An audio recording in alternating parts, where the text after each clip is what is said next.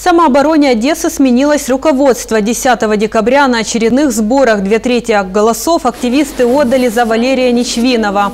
Он говорит, в будущем организация будет акцентировать свое внимание на милитаризации. Кроме того, организация планирует помогать обществу бороться с коррупцией. Мы немного размылись по задачам в последнее да, время.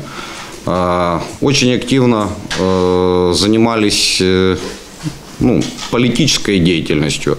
Наверное, это было не совсем, не совсем удачное э, там, направление, на которое мы тратили там, время и ресурс. То есть сейчас мы бы хотели, э, и мы так здесь делаем, акцентировать внимание все-таки на милитарной стороне, тобто э, подготовка резервной армии, обучение и дообучение э, добробатов, которые до сих пор, как вы знаете, находятся на линии фронта.